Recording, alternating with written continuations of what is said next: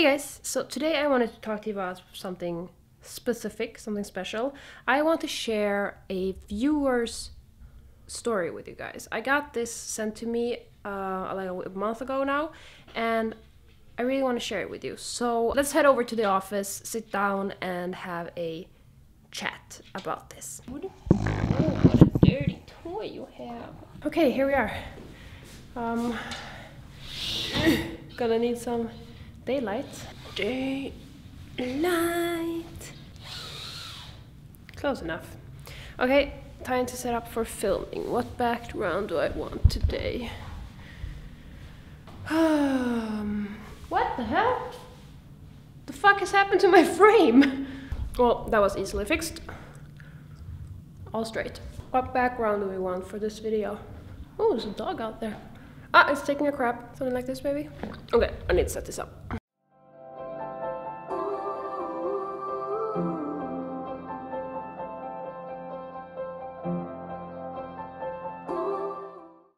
wow, great setup. okay, now we're talking. Like I said, what I want to do, I got this email when I did my personal tattoo advice thing. Um, I got this email from a girl, and she, it was like a really long email. Um, let's see, what about the settings here? Oh, okay. And it was just such a, it's an interesting story that I asked her, can I please make a video just dedicated to your question? I don't even think I have a good answer for her. It's just that I, I really want to share it with you guys because I think maybe some of you can help you can lend support. I don't know, it's a very interesting story and it's really long. So this video is basically going to be me reading her email to you guys. Let's get cooking. I am going to censor because it's, I mean, obviously it's a private question or personal at least. So she asked me to take away like obviously her name and the cities that we're talking about. I'll just blank. I'll I might call them like city one and city two or whatever just to keep her anonym, anonymity. Anonymity. To keep her anonymous. About a year ago, I found out about this super talented artist on Instagram and straight away knew this person had to tattoo me. The thing is, I live in Europe and they live on the other side of the world, 13,000 kilometers away from me. Last summer though, they announced they would be doing a guest spot in September 2016 in City 1. City 1 is closer to where this person lives. Um, I did email this artist right away to secure a spot with them. Very quickly though, something went wrong with the tattoo shop that they were going to be guesting at and that they would not be coming to Europe anymore. I was so disappointed because the idea of getting this tattoo was now so present in my mind. I ended up deciding to do something quite crazy and travel there to get this tattoo. I'm a quite well-traveled and super spontaneous person, so it was crazy, I'll admit, but I was okay with it. So I asked them when their next availabilities were. They told me they had two free days by the end of December, and right now it was late August. I took a couple of days to think about it and looked up plane tickets, and that was it. I booked my tickets, he booked me in for the two days, I was in for quite a large piece. And I spent the four longest months of my life thinking about this trip and tattoo to come every single day and being so excited about it. Jumping in time, straight to four months later, when I actually arrived there, Oh wait, I forgot to say that before that, he actually was quite flirty in his emails. Not in an awkward, but in a very cute, lovable way. Like saying he was very excited to meet me and tattoo the prettiest girl on the other side of the world. His words. These kinds of things. So it was cute, but still. So the day of the tattoo, I was very impressed meeting him. He admitted to me later he was impressed too because he'd been longing to meet me for a while as well. But the design was absolutely perfect. I'm usually extremely picky when I ask for a custom design. Most of the time there's either something I want added or to be rethought. Though this time it was just gorgeous. I was over the moon. The artist was, as I expected, very very lovely, a very chill dude. We talked throughout the whole session and had a lot of fun. We were supposed to have two days of tattooing, but I had so much fun that time actually went by quite fast, and I could take the 8 hour session in a day. It was still painful though, not acting like it was all easy. Now that I think back about it, when getting my other two 3 hour pieces, I actually realized how crazy this shit was, because I can barely get through 2 to 3 hour sessions at a time now. Anyway, the tattoo was done at the end of the day, and that was it. I have to admit that by the time I was going back to my hotel, I realized I had quite a crush on him. But I'm the kind of person who very often kind of mistakes admiration for love, so I just let it go. Plus, I was absolutely knackered after that day. That was until next morning, when I woke up very, very early because of a notification on my phone. It was like 6 am, to find out the notification was actually an email from him that he just sent. I'm not a morning person, but this woke me up instantly. The email read something like, Hey, so I really had to get this off my chest. I have a huge crush on you, and I had the best day spending time with you yesterday.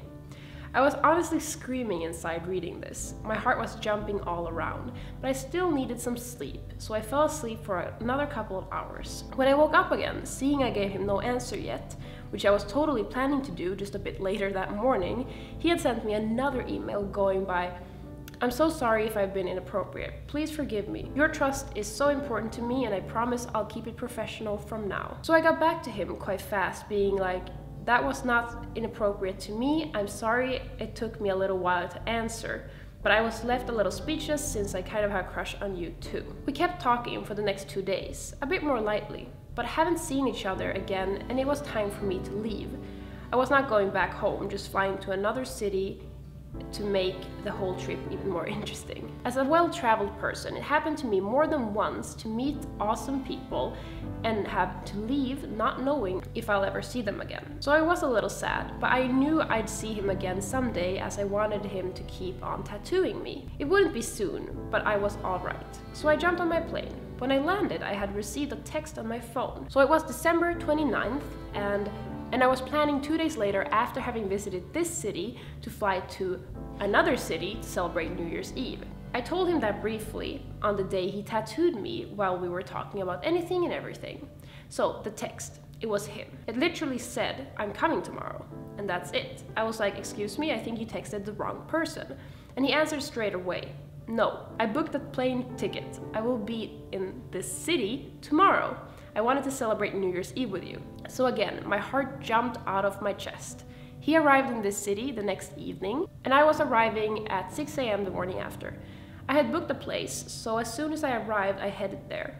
I didn't text him not to wake him up, but I got a text about half an hour later saying, I cannot sleep, I'm too excited. Are you here already? He met me at my place just a few minutes after I said yes. I looked like shit, I had no sleep and everything, but he kept giving me compliments and all that. We've been hanging around the city for the whole day and I felt like I've known him forever. Nighttime came, New Year's Eve fireworks at midnight. He kissed me for the first time. We kept exploring the city until 6 in the morning. I had been awake for 24 hours and that night I knew he was the one. We said that we loved each other. He asked if I'd marry him. I laughed. He said he was serious. I said yes, but not in this city. We decided to travel the world together and get married in... As I'm telling all the story to someone for the first time in this email, I realize how crazy it does sound, but it felt so right at the time. It was honestly the time of my life. And he left at 6 in the morning as he was flying back home. We kept calling each other every day for the next two weeks. Then it progressively became a little less than that. He was so busy all the time. He got obsessed with fitting in as many clients as he could to get money and save up to move to Europe. So we were talking less and less because of that, still saying I love you to each other every day. But that was pretty much it. One day I was not in the best mood and asked him to get back to me whenever he could so because we needed to talk. He did hours later, and all these hours were just making me feel worse. We talked about the future and I showed all my worries. He tried to reassure me, but then got very anxious himself. And without notice, as we were talking, he blocked me on Instagram. I called him and he told me he couldn't take it anymore, that he loved me too much to keep disappointing me, that if he couldn't make me happy, he should just leave me alone. We talked for hours, cried a lot, but got everything back to normal. It lasted for about a week. The next week, I was getting tattooed by a guy. I put a picture during the session on my Instagram story, as I would very randomly do with pretty much anything, and realized not long after that he had blocked me again. I called him, he didn't pick up the phone. I mailed him, he said he couldn't take it anymore. He actually got jealous of the guy who was tattooing me. I was so mad that he tried to run away for that reason, because we had had that talk before, that I'd get tattooed by other people, and that because I met him through this didn't mean that it would happen with anyone else, since I didn't fall in love with him for what he did, but for who he was. I got so mad I told him that he was right, that we would not make it. And that was it. That was a little over two weeks ago, so probably like six weeks ago when I'm reading this. Last week he sent me an email. I don't want to lose you. I answered a couple of days later, me neither. Nothing since, and that's pretty much the whole story. Like I said, I I don't think I have a good answer about this. It just sounds like a like a romance where you fall in love with someone, love at first sight, but then in the end you're not necessarily made for each other because it's just not the right time. It's bad timing. Obviously, this person can't handle a long distance relationship. If it's going to be this off and on, the person blocking you when the when they start feeling bad, that's not how you handle conflict in a relationship. You don't just run away, you don't just block people, you don't just stop answering and then a week later say, I don't want to lose you. That's just not how it works. I, if you guys want to share your own stories, if you have similar experiences or anything where you can give some advice for this person, I very much urge you to do so in the comments below because I told this person that my comment section is a place for support and love and advice, and that is a reason they actually agreed to let me do this. So please show some support and if you have any good advice, please give it below because I don't really know what advice I have. Since it was a few weeks ago, I don't know how this has progressed since. Maybe they've worked it out, maybe they completely stopped talking to each other. I don't know, but it was a nice story. Maybe the foundation of a romantic tattoo related book. I know this is kind of like a weird video to make, but I really wanted to share that story. Because I do get emails from you guys that are really cool, and I don't, I mean, of course I share my stories on my channel, but why wouldn't I be able to share your stories as well? Because not all of you have YouTube channels, obviously, but if I get some cool like stories and stuff, I, I wouldn't mind sharing them with you guys, because why not? But that's enough for now. That's all I was going to do here at the office. So now I am going to head back home. I'll smell you guys in the next video.